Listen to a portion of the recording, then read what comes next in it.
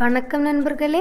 இன்றைக்கி நம்ம சேனலில் ரொம்ப டேஸ்டான சாஃப்டான பன் வீட்டிலையே அவன் யூஸ் பண்ணாமல் எப்படி செய்யலான்னு பார்க்கலாம்.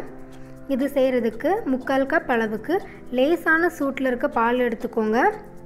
இது கூடவே ரெண்டு டேபிள் ஸ்பூன் சீனி சேர்த்துக்கோங்க. பால் கண்டிப்பாக லேசான சூடில் இருக்கணும்.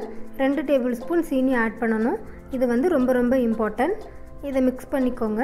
இப்போ இதில் ஒரு டீஸ்பூன் அளவுக்கு ட்ரை ஈஸ்ட் சேர்த்துக்கோங்க. இது எல்லா கடைகள்லேயும் கிடைக்கும்.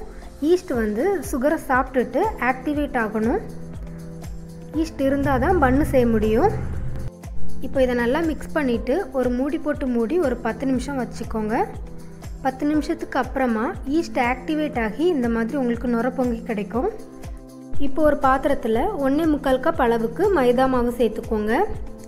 இது கூடவே ரெண்டு டேபிள் ஸ்பூன் அளவுக்கு சுகர் சேர்த்துக்கோங்க. சுகர் உங்கள் விருப்பப்படி அதிகமாக கூட சேர்த்துக்கலாம்.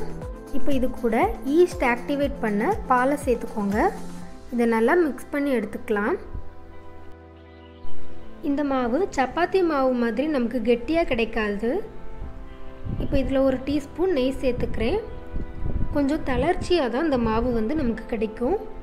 அப்படி இருந்தால் தான் நமக்கு பன் வந்து ரொம்ப சூப்பராக கிடைக்கும்.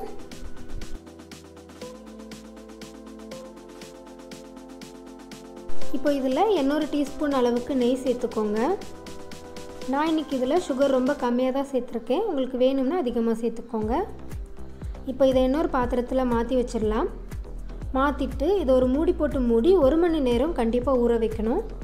ஒரு மணி நேரத்துக்கு அப்புறமா பார்த்தீங்கன்னா மாவு இந்த மாதிரி உப்பிட்டு நமக்கு கிடைக்கும். இந்த மாதிரி டபுளாக கிடைச்சா தான் நமக்கு பண்ணு ரொம்ப சூப்பராக கிடைக்கும்.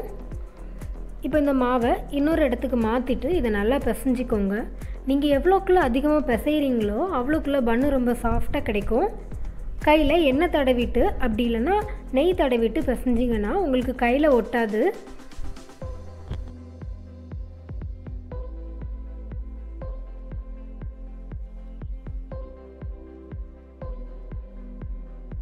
இப்போது மாவு நமக்கு ரெடி ஆகிடுச்சு இதை நாளாக பிரித்து வச்சுக்கோங்க.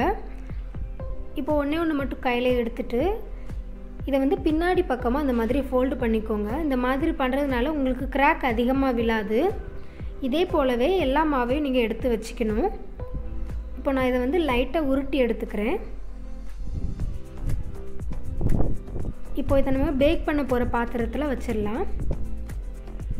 இதே போலவே எல்லாத்தையும் வச்சிடுங்க. இப்போ இதை ஒரு மூடி போட்டு மூடி பதினஞ்சு நிமிஷம் ஊற வச்சிடலாம். இப்போ பேக்கிங் பண்ணுறதுக்கு குக்கர் அப்படி இல்லைன்னா கடாய் எடுத்துக்கோங்க. அதில் ஒரு கப் அளவுக்கு நார்மலான குக்கிங் சால்ட்டு அதுக்கு மேலே ஒரு ஸ்டீல் ஸ்டாண்டு வச்சுட்டு இதை ஒரு மூடி போட்டு மூடி பதினஞ்சு நிமிஷம் ப்ரீஹீட் பண்ணிக்கலாம்.